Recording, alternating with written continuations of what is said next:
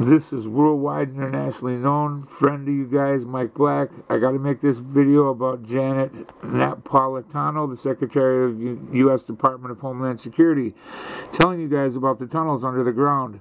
This compilation begins now. I only started in freeze frame so I could give you an add up of what you're going to watch. Pay attention, it's important. Hi, I'm Janet Napolitano, Secretary of the Department of Homeland Security.